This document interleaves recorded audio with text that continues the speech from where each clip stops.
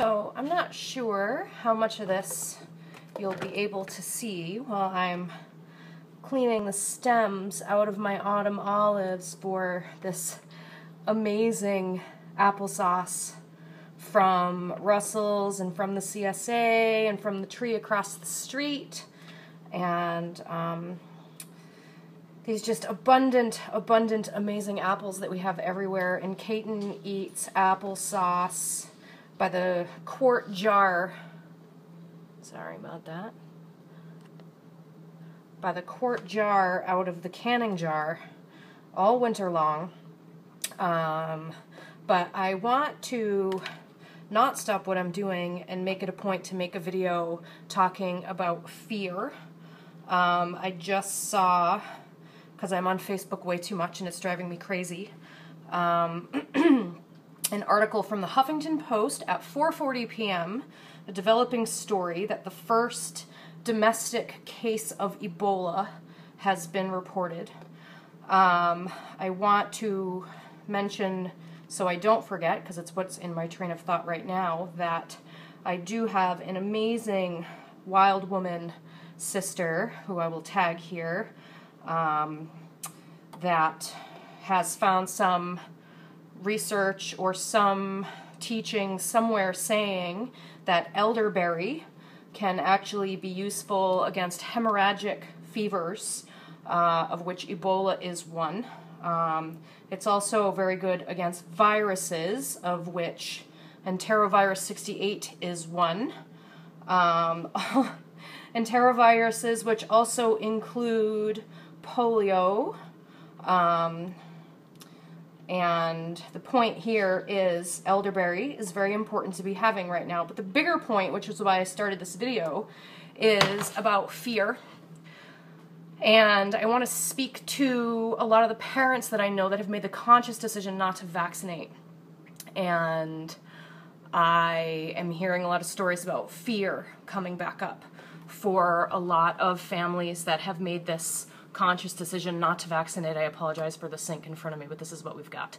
Um, we made these decisions for a reason, and some of us made these decisions. I made this decision because of my education, which is undergraduate, graduate, and postgraduate education, including microbiology and immunology and biochemistry and pathology and pathophysiology, which is what happens when organs stop working properly um, and uh, postdoc training with PhD neuroimmunologist and board certified medical pediatricians.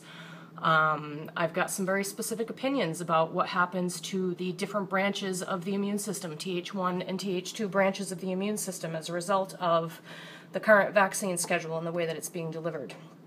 Um, and I want to speak to the fear because I know a lot of parents right now are really second guessing those decisions. But I'm just going to ask you to remember why you made the decisions and what your true vitalistic belief is in the immune system, particularly when you're a vitalist like me and you believe that a lot of the plants and the medicines that are in our gardens already are what are there to be the seasonal tonics to help strengthen our bodies and stop us from getting sick or allow our bodies to have the illness and uh, have a not unbearable level of symptomatology, the poop and the boogers and the sneezing and all those other things that are your body's way of practicing and remembering how to cleanse these bacteria and viruses in our system that don't belong there. So, um, I just want to remind you parents that are, you know, making some of these decisions and all parents really in general to just remind everybody that the body was made to do what it knows how to do and that's how to be healthy if we just don't put any additional interference into it. And it's hard because we're putting a lot of interference into it already just in the environment Um, and you can just make yourself sick as a parent over all of these different things. But there are some things that are controllable, and we can use the plants, we can use the natural healing abilities to enhance the immune system, particularly the Th1 part of the immune system, that is the cellular part that recognizes things that invade when they don't belong there. Um, Th1 system, by the way, being one of the things that has been partially drilled out of um, newborns and very young children right from birth with the way that the vaccine schedule is being introduced. My understanding, based on my gifted teachers, is that the Th2 immune system is becoming completely dominant, and a lot of these children don't have a very strong cellular immunity anymore, and that's why some of them get sick, and they're sick all the time because any little thing that they come across is getting across their mucosal membrane or into their digestive system, and it's making them very sick because their body doesn't have the ability to. Um, stay ahead of that curve. So I just want to remind again all parents to be strong in your choices and remember why you made them. When the fear comes up, you need to make the decision that's right for yourself with each situation that comes up. But please always try and go back to that place in you as a parent with your intuition and your ability to um, evaluate knowledge and wisdom that's coming at you from whatever direction it's coming at you and deciding whether it's valid for you or not and helping you make a conscious decision that feels right to you and that there are things we can do to balance and support our immune system.